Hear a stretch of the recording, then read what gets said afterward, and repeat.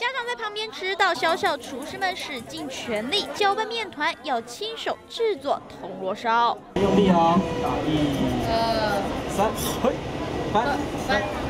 全台年纪最小的铁板烧师傅登场，才四岁大的小朋友站在煎台前，师傅们小心翼翼扶着小朋友的手，避免他们被热腾腾的铁板烫着。小朋友们顺着师傅手势将铜锣烧翻面煎，动作有模有样，最后再将成品用巧克力画出各种卡通图案。小小厨师上菜喽！好，蘸酱酱，然后呢？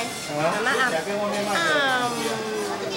宝贝亲手喂到嘴里，尝着宝贝们的手艺，妈妈竖起大拇指，边吃边笑，合不拢嘴。你的今天的成绩打几分？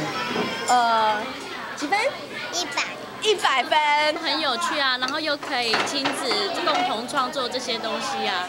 四岁铁板烧小师傅一出手就知有没有，小宝贝们尝试当厨师，不管成品如何，爸妈们绝对捧场，给你们一百分。接着，我们让谢友云台中报道。